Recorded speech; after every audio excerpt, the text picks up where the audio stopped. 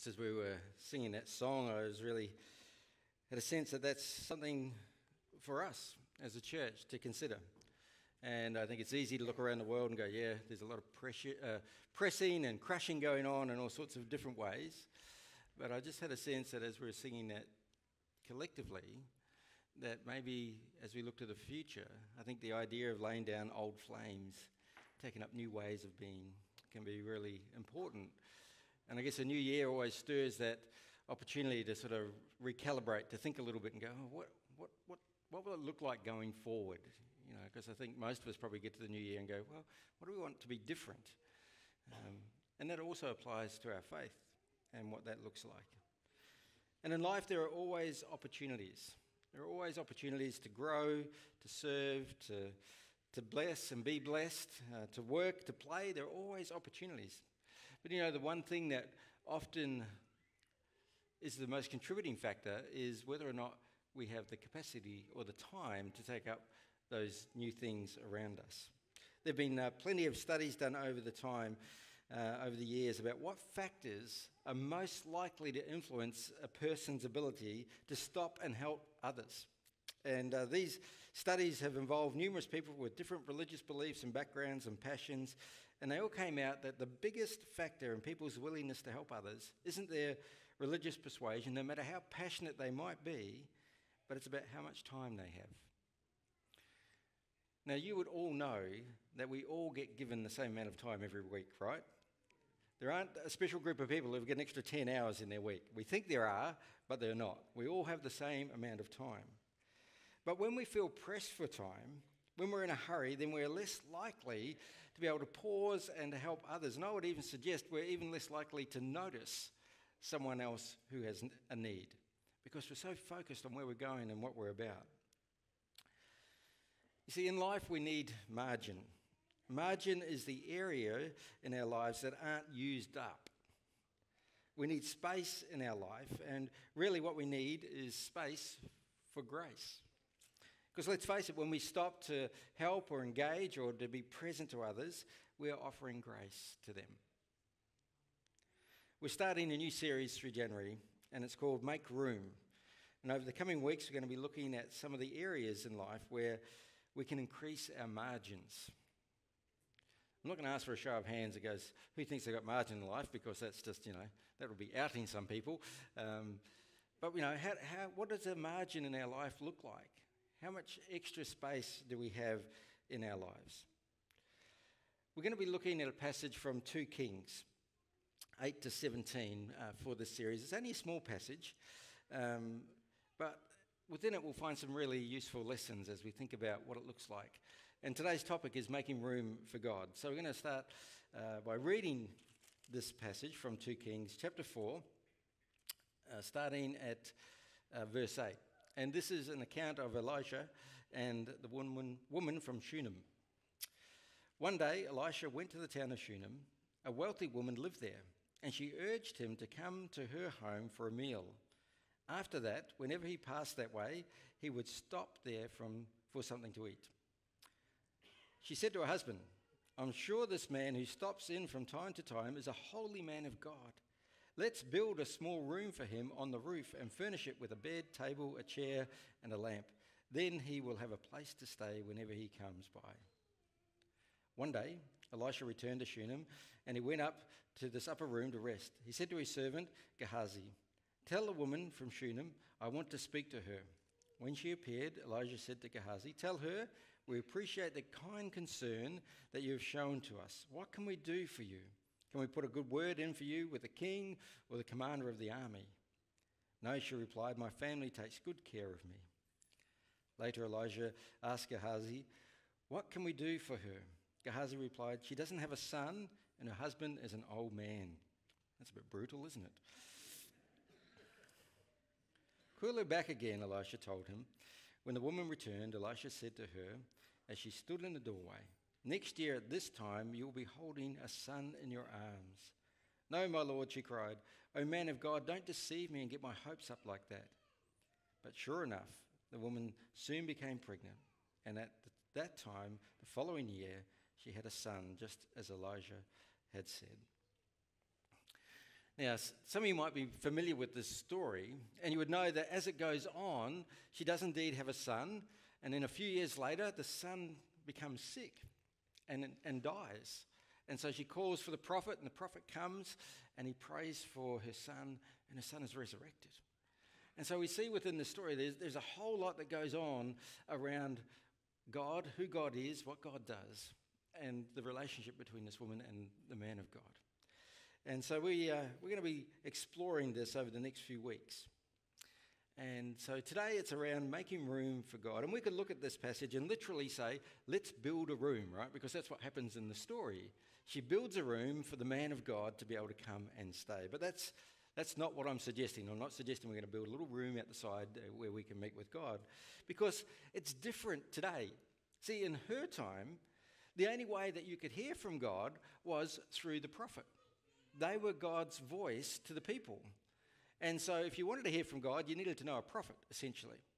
Well, we know for us today that's very different. We have all sorts of ways in which we can hear from God. Uh, there is the Bible, which we can read, and that is God's word to us.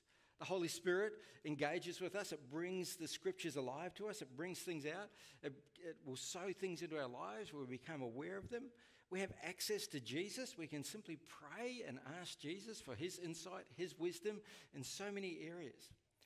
When Jesus was crucified at the Easter event, one of the significant uh, things that took place was the veil in the temple was torn from top to bottom. And what that signified was that to hear from God, you no longer needed the man of God to go in on your behalf and come out and tell you what God had said all of a sudden, everyone, everyone has access to God. It's no longer hidden away in the Holy of Holies. So it's a really significant moment that happens at Easter, and I think we need to really appreciate it, particularly in this story, when we're looking at the Old Testament, when that was very much the case. And so we all have access now to God. In fact, I would suggest we have so much access to the things of God today that sometimes we're overwhelmed. There's podcasts, there's books, there's so many different translations of the Bible. There are all sorts of ways in which we can hear from God. But we need to take the opportunity to hear from God. In this account, we find a couple of characters. There is Elisha, the prophet, the man of God, and then there is the Shunammite woman. And this woman, as the scripture tells us, is a wealthy woman. So that means that she would not have wanted for anything. In fact, when she's asked, What can we do for you? she's like, You, you don't need to do anything for me. My family take good care of me. She had all the trappings that the world could offer. She was well taken care of. But although she had all that was there, she noticed that there was something else that she wanted, and she made room for God in her life.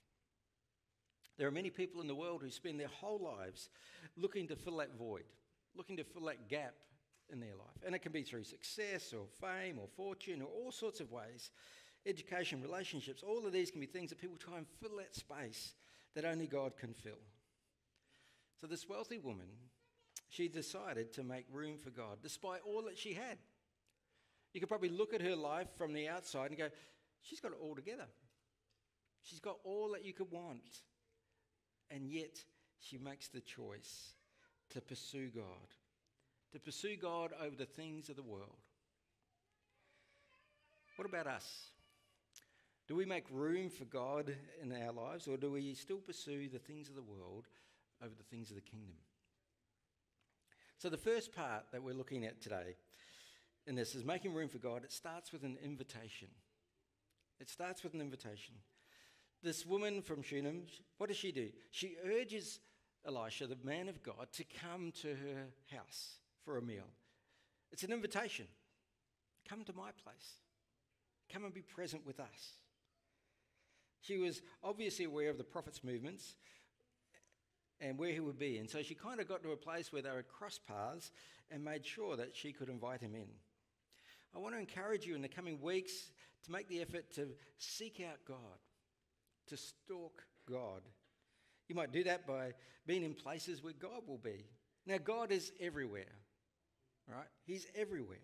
That's part of his nature, part of his character. When we become a follower of Jesus, then God becomes part of our lives. He's, he becomes part of us. The Spirit indwells us. Yet there are times when we're able to see and hear God more where we're more attentive to Him. The soul food resource that we put out before Christmas has some of that intent behind it, that we would be put ourselves in places where we can be more present to God, where we are open to God more than what we might be in just our regular rhythm of what we do. So, in the coming weeks, I want to challenge you to make space for God to speak. In your days and weeks and months, if they are so full of stuff and noise and people and events, then I want to encourage you to, in your day, to invite God into that quiet place in your life. When uh, Ros and I, if we want to have a meaningful conversation, then we know that, you know, you, it's hard to have a meaningful conversation when you're at a concert and the music's blaring, right? It's hard to have a meaningful conversation when you're at the movies. It's near impossible to have a meaningful conversation with me if the footy's on or I'm checking my email. For us to have a meaningful conversation, there needs to be quiet and space and intent behind it. You know, God likes the quiet, He likes our attention. It's in 1 Kings 19 that we read about Elijah, and he stands and he waits for God to speak, and it's not in the earthquake, and it's not in the wind, and it's not in the fire. Some of you know this. It's in the still, quiet whisper of the wind, isn't it? That God speaks. Sometimes to get our attention, God speaks in the chaos, doesn't He? I'm sure as most of you have experienced that at some form or another. When life is chaotic, God will get your attention some one way or another.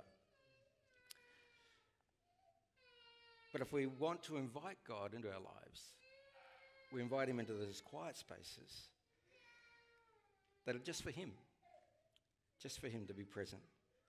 For some of us, that's tough because we, we're the doers, right? We like to do stuff all the time. That's how we feel productive, that's how we feel useful. We do stuff. And so the invitation to be still, to pause, to listen to God, it's like, man, that's like going to the dentist because it's, we're not wired that way. But I want to suggest that we're not wired that way because we haven't practiced what it is to be still. Because sometimes when we're still and when we pause and we re- when we reflect, we notice things about ourselves that we probably don't like as much as we probably should. We become aware of some of our bigger failings. And so sometimes it's just easier to keep busy, keep active. I'm always surprised, I'm not always surprised, but I always notice that whenever I'm out and about, that people have these things in their ears these days. Have you noticed that? And they're always listening to something. And, and it might be a really helpful podcast, or it might be some great worship music, or some other things like that, but it's still not stillness and quiet, is it? When do we become still? When do we become quiet? When do we allow the voices in our head to quieten down, that we allow the Holy Spirit to be present? And it's really challenging. I know when I first came across the practice of stillness, uh, there was someone who was sort of helping and, and, guiding me in this, and it was like, you know, and she was like, well, you know, let's start small. Let's start with five minutes. I got to tell you, that first five minutes felt like forever. But after a while, as you start to practice it, you kind of go, oh, I can do this a bit more. I start to become in tune with God. And I start to appreciate the solitude and the quiet and the presence of God. So, making room for God is an invitation. Do we invite God in? How do we invite God in? The next one is make room for God happens in community, which is kind of almost a little bit separate to what we just talked about. We need the stillness, but we also need other people. Here, the woman says to her husband, Let us build a room. Husbands out there, let me ask you a question. What does it mean when your wife says, Let us paint, clean out the cupboard, do the garden? What, what does that mean? And, and sometimes it is truly a collaboration. Sometimes. Sometimes the collaboration is I'll hold the paint, do that. I'll, I'll cheer you on. I'll get you that glass of water while the other stuff's going. But there's still a collaboration, isn't there? In our house, it's like someone does the planning, someone does the work, and often it works well. Because you need one another, right, to be able to do things well. But when do we when do we join in with others? And I guess many of you would know that Christianity is best done in community.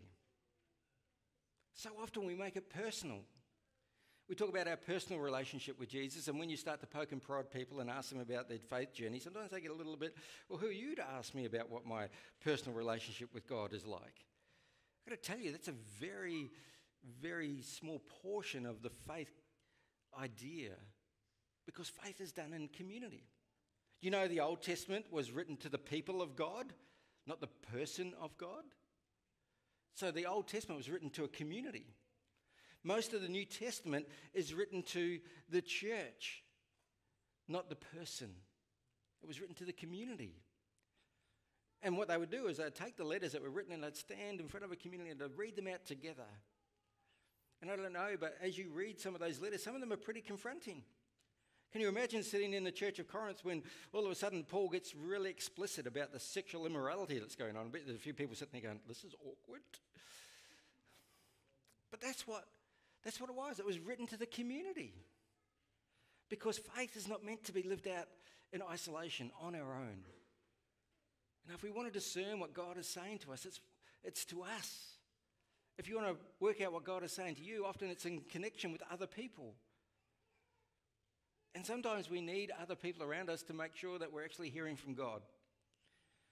Because sometimes we have this great idea and we kind of go, I think God is saying this. And if you've got really trusted, wise people around you, sometimes they'll say, Yes, I affirm that. And sometimes they go, No, that's not what I'm hearing from God in this space. And so we need that connection, we need that community here.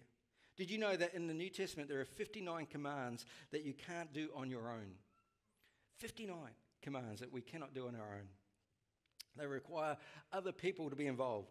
This is what some of them are love one another, be at peace with one another. Some of you thinking, I'm at peace with, other, with others when I'm on my own, right? So, but be at peace with one another, encourage one another, care for one another, forgive one another, submit to one another.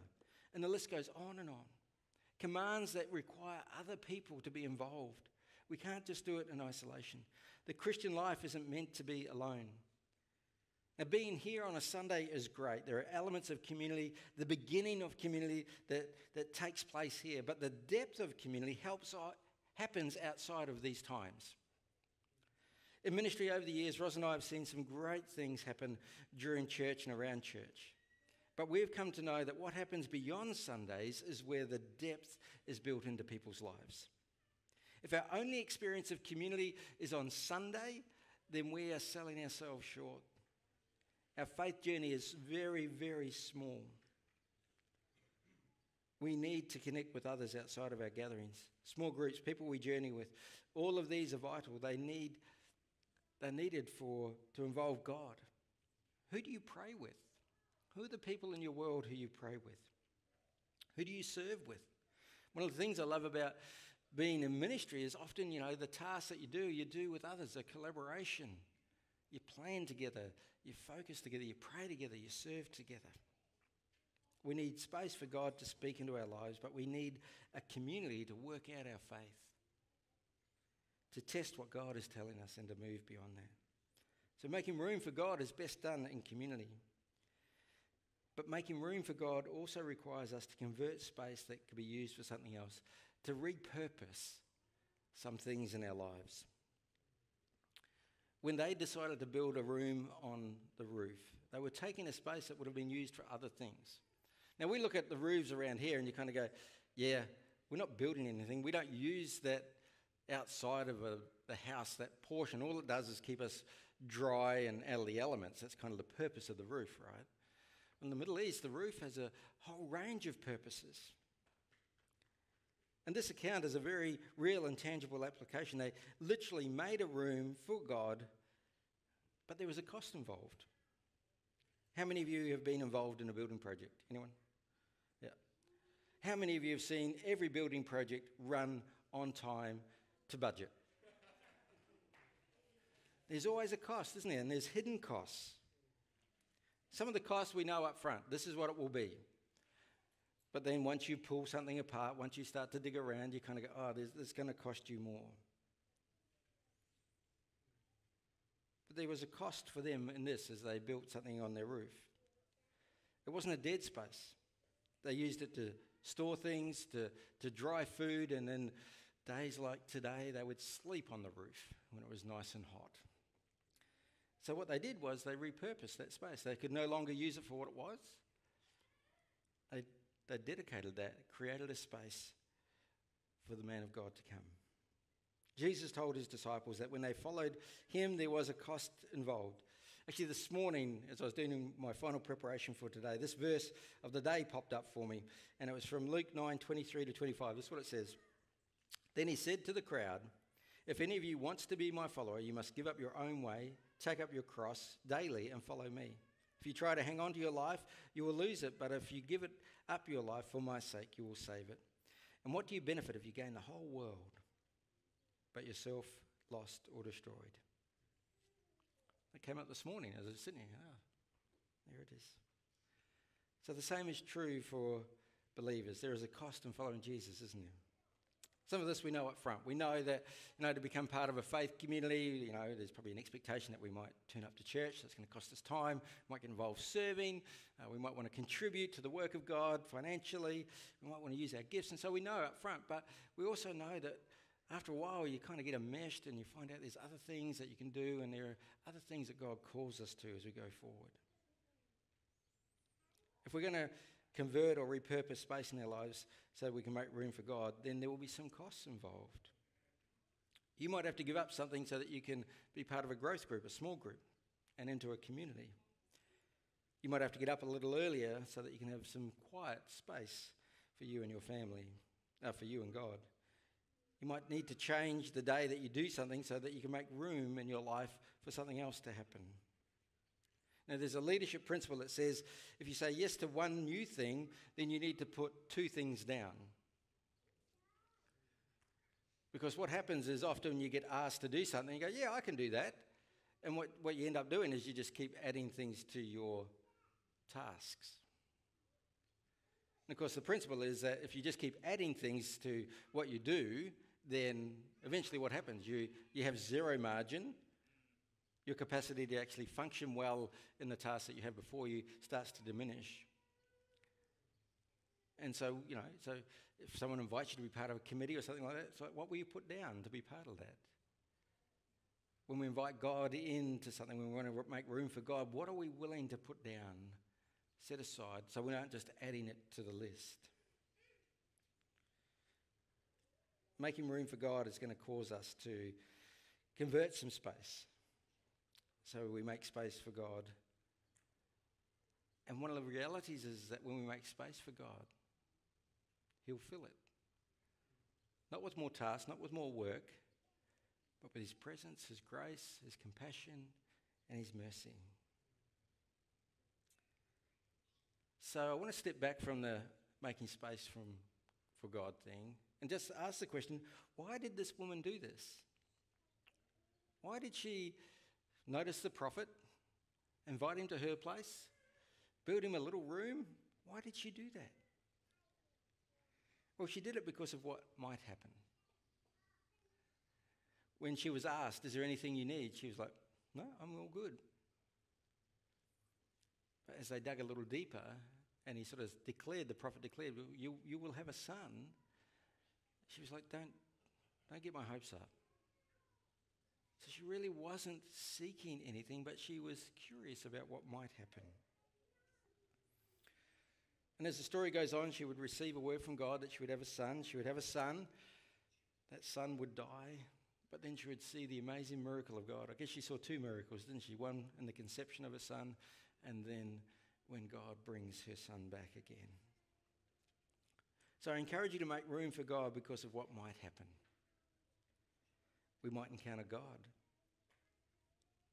How many of you genuinely have a desire to encounter God?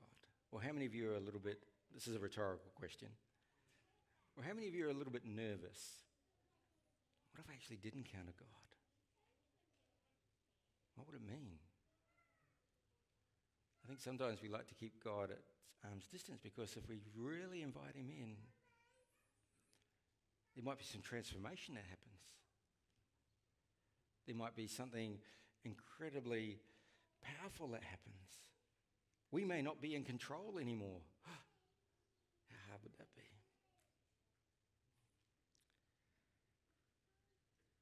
If you make space for God, we will learn things about his nature and character that will surprise you.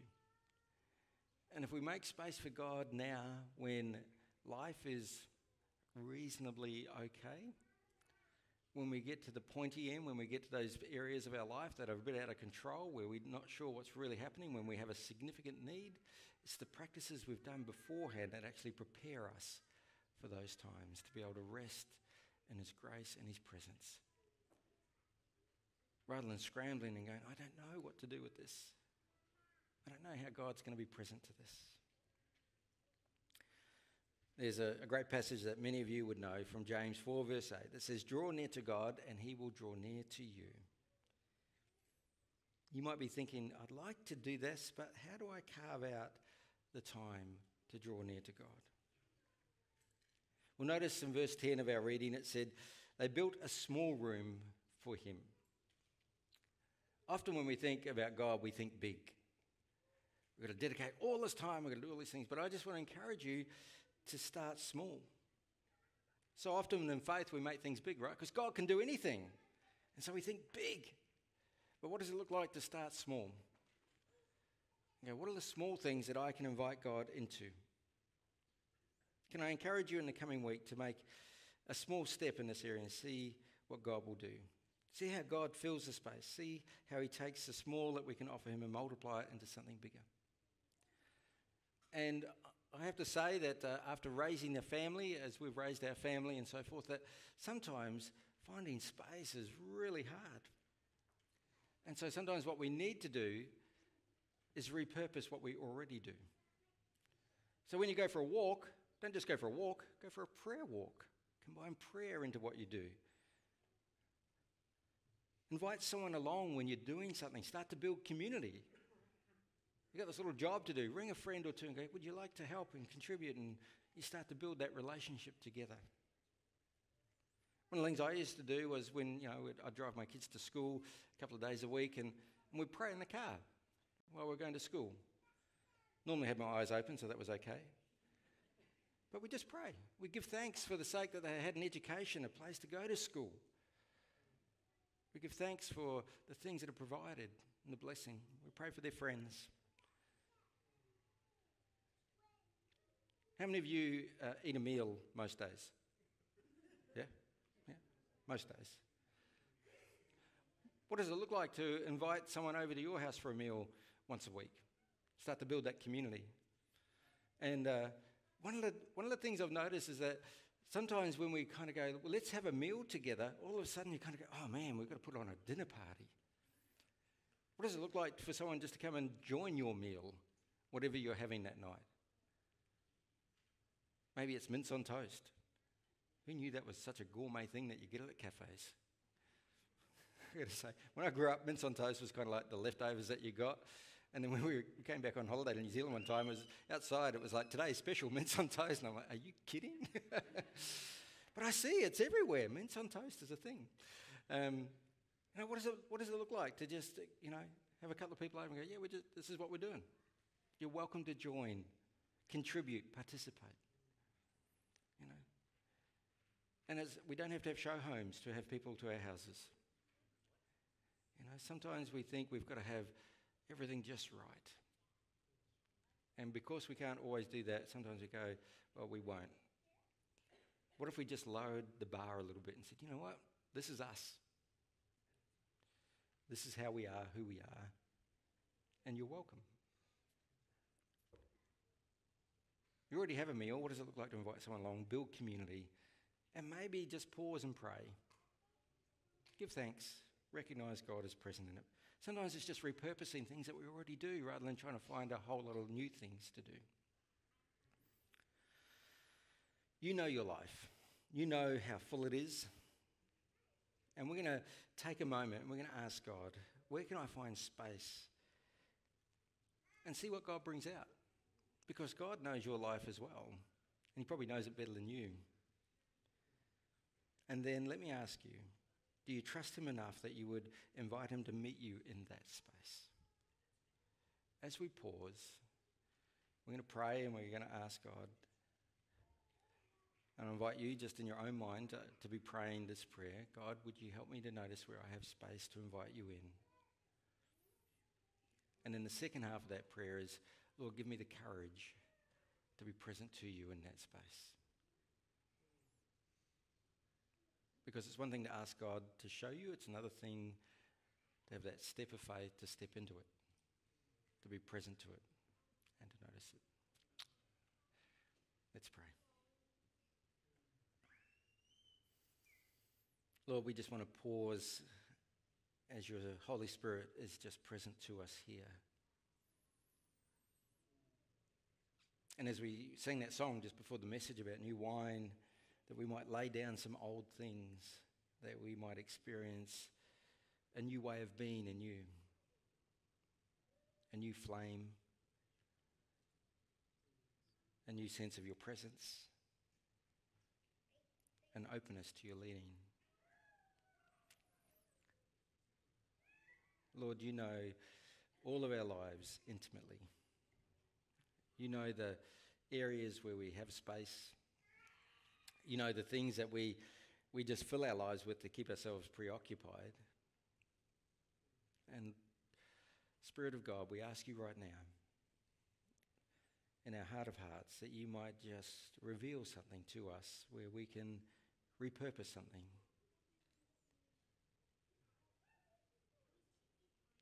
where we might be able to invite you in, that we might become attentive to your voice.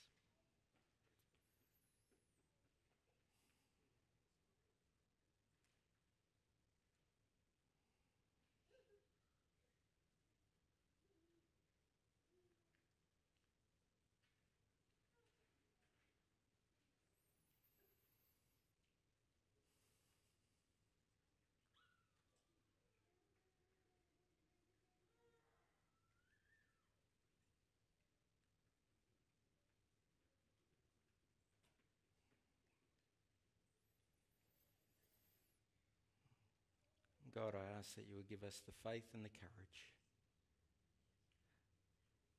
to respond to the call you've placed in our heart.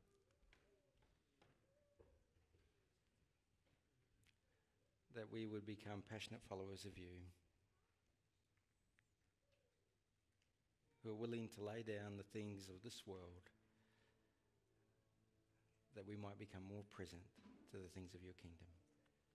In Jesus' name. Amen.